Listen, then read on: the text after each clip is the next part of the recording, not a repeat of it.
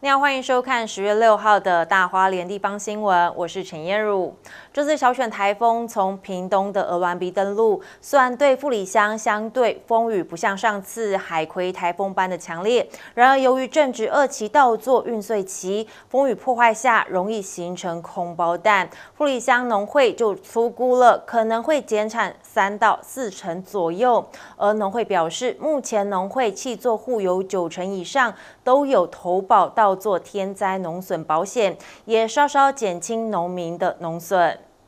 相较于上次海葵台风的破坏力，这一次小犬台风就显得轻了些。不过，富里乡两千三百公顷的二期稻作正值开花运穗期，被小犬打得落花流水，损失惨重。农民看了有苦说不出。记记录唔敢开发，然落水事事件都已嘛冇开发了。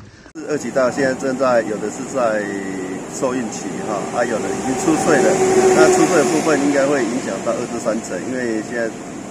呃，看这个台风风势也蛮大的哦，也蛮强的哈。位于灌溉水军末端的东里乌江地区，原本因为旱灾预备休耕，所幸当时杜苏拉台风带来及时雨，赶着复耕的农民最慢也在九月底完成了插秧，而小犬的风雨也就影响不大。哦，现在水稻的话还 OK 啦，因为现在干旱，因为上一次哈台风来的时候。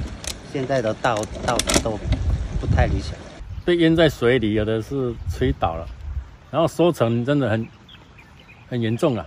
啊，政府不知道有没有在那边来勘察。不论是节税期还是才刚完成插秧复耕，碰上了台风接棒来袭，布里乡农会出估可能会减产。富里乡农会出估，二期稻作可能会减产三到四成左右。秘书林辉煌指出，积极推广水稻天灾农损保险，也能够稍稍减轻农民的农损负担。轻中重啊，重的很重，轻的很轻啊。对，有的才刚插秧不久，有跟农民保了一个天然灾的保险，水稻保险的部分。那我们农会这边是所有的七作户，我们都是以。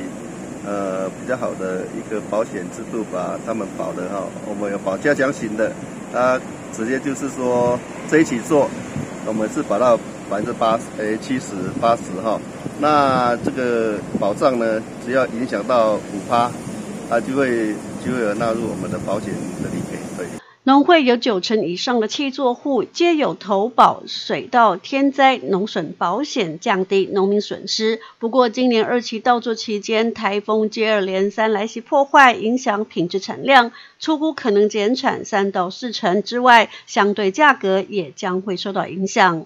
记者石玉兰、副理采访报道。